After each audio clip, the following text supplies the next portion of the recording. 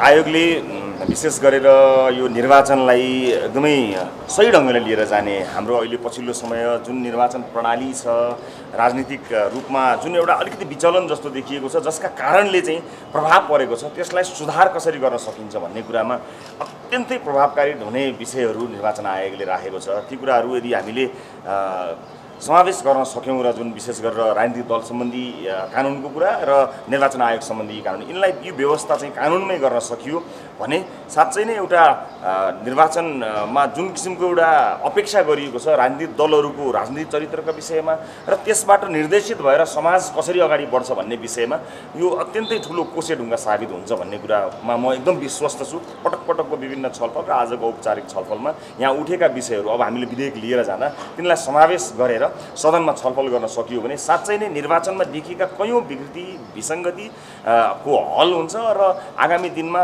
आन्तरिक लोकतन्त्र पार्टीहरूको आन्तरिक लोकतन्त्र र देशलाई नै देशको नै लोकतन्त्रका लागि त्यो एउटा ठुलो प्रभाव पर्ने काम हुन्छ भन्ने कुरामा हामीले छलफल गऱ्यौँ। अब हाम्रो तालुकदार मन्त्रालय भएको हुनाले गृह मन्त्रालयले यी विधेयकहरूलाई लिएर जान्छ र यहाँ समावेश भएका विषयहरू सदनमा छलफल हुन्छ। अब अड्काउनु पर्ने कुनै कारण नै छैन। त्यही कारण छ भने अन्तिम छलफल गर्नु होला त्यो अन्तिम छलफल पछाडि तुरुन्तै लिएर जान्छु। म आफ्नै कार्यकालमा चाँडोभन्दा चाँडो यो चिज सम्पन्न गर्ने हुटुटीमा छु भनेर भनेको छु। त्यस कारणले अब एकदम अन्तिम चरणमा छ कुनै त्यस्तो धेरै मेजर डिसिजन्सहरू गर्नुपर्ने छैन। केही राम्रा चिजहरू छुटेको हुनाले मैले नछुटाउनुहोस्। यसलाई पनि समावेश गराउनुहोस् न।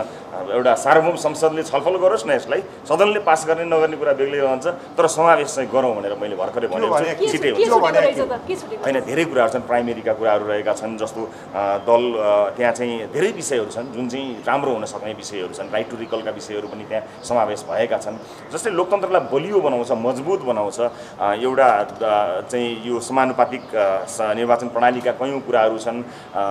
राष्ट्रिय सभालाई अलिकति समृद्ध बनाउनु पर्ने हो कि मरे अझ अझ बढी त्यसलाई जिम्मेवार बनाउने ठाउँहरू लगायतका प्रदेश सरकारका विषयहरू कयौँ विषयहरू त्यहाँ छन्। म एउटा मात्र छैन धेरै विषयहरू छन् जुन चाहिँ राजनीतिक दलहरूबिच छलफल भएर होइन यसलाई चाहिँ लाने कि नलाने भन्ने एउटा दोधारमा बसेका विषयहरू पनि थिए किन नलाने लैजाउँ न भन्ने यस्ता थुप्रै छन्। एउटा मात्र दुईवटा मात्र छैन उपनिर्वाचनको विषय उठ्यो उपनिर्वाचनलाई चाहिँ जुन ढङ्गले तयारी उहाँहरूले गर्नुभएको छ त्यसबारेमा ब्रिफिङ भयो। उपनिर्वाचन हामीले गृह मन्त्रालयको तर्फबाट यसलाई चाहिँ निष्पक्ष रूपमा एकदमै यो निर्वाचन सम्पन्न गर्नको निमित्त निर्वाचनमा विभिन्न सुरक्षाका कुनै पनि विषयमा चाहिँ संवेदनशील भएर अगाडि बढ्नेदेखि लिएर सम्पूर्ण विषयहरू उठे। अ, बझाङको इलामको निर्वाचनका विषयहरू उठे। स्थानीय निकायको उपनिर्वाचनको विषय अलिकति समय लाग्ने कुरा आएको छ। टेन्टेटिभली मङ्सिरमा सकिन्छ कि भन्ने प्रस्ताव आएको छ। अब त्यसलाई हामीले हेर्छौँ। अब एकपटक हेरेर त्यसका अन्य विभिन्न पाटोहरूबाट अध्ययन गरेर मलाई लाग्छ अहिले अहिले नै अब सरकारले घोषणै गर्ने कुरा त होइन तर प्रस्ताव चाहिँ टेन्टेटिभ हामी सक्छौँ होला भन्ने विषय यस अगाडि नै उठिसकेको हुनाले मलाई लाग्छ त्यसै सेरोफेरोमा हामी छलफल गर्न सक्छौँ जस्तो लाग्छ। यस अगाडि जे छलफल भएको थियो त्यो छलफलमा चाहिँ मङ्सिरमा जाने कुराहरू भएको रहेछन्। त्यस कारणले मैले चाहिँ किन रहेछ त्यो मङ्सिरमा किन अगाडि किन अथवा के अप्ठ्यारो रहेछन् भन्ने कुराको एउटा अध्ययन चाहिँ नि अहिले मैले पछिल्लो पदभार सम्हालेपछि हेर्नुपर्ने भएको हुनाले मलाई पनि त्यो टाढा लागेको चाहिँ छ।